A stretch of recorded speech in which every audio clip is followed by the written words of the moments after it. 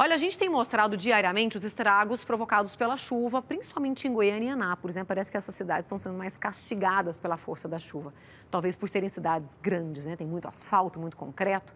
A sensação que dá é que as enchentes estão se tornando mais intensas nas maiores cidades. E não é por acaso, não, viu? Em três décadas, a área, a área urbanizada dobrou em todo o país a construção de casas, prédios e indústrias. Sem espaço para escoar, a água acumula e aí provoca transtornos. Olha aqui. O escritório de arquitetura que a Samara é sócia ficou irreconhecível. A chuva que castigou Anápolis no dia 12 acabou com máquinas que chegava a custar 16 mil reais cada uma.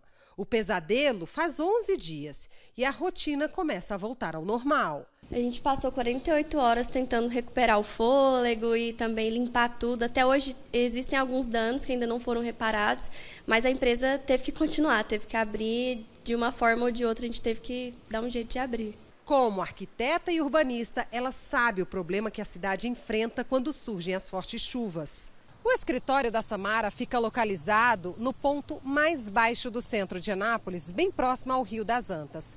Quando chove, o nível sobe e a água, sem ter para onde escoar, acaba invadindo os imóveis da região.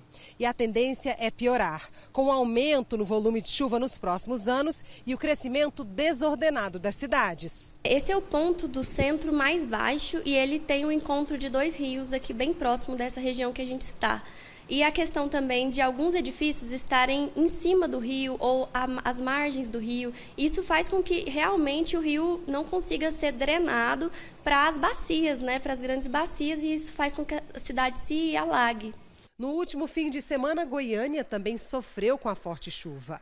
Alagamentos intensos, imagens nunca vistas antes impressionaram os goianienses. Pontos que antes não alagavam, agora foram alvo de inundações. Não tem como a gente correr atrás de solução para isso. O poder público tem que fazer sua parte, criando um plano de drenagem. A Prefeitura de Goiânia tem feito um trabalho com a UFG para que isso seja realidade, deixe de ser um plano.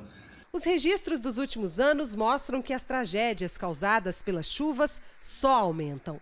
Além das mudanças climáticas e das construções em áreas indevidas, o lixo jogado de forma errada pela população também aumenta o problema. Quando ela joga lixo na rua, ela está contribuindo para que esse fluxo de água não tenha para onde passar.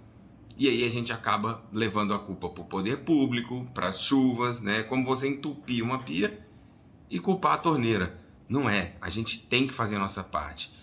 É preciso pensar em soluções. Elas existem e podem mudar a imagem da cidade e a vida das pessoas. Aumentar a área região de parques, regiões de alagamento drenantes dentro da cidade, desapropriando algumas áreas que realmente não tem como ficar ali. A nossa conscientização, eu acredito que seja o primeiro passo. E a cobrança de ações do, do poder público.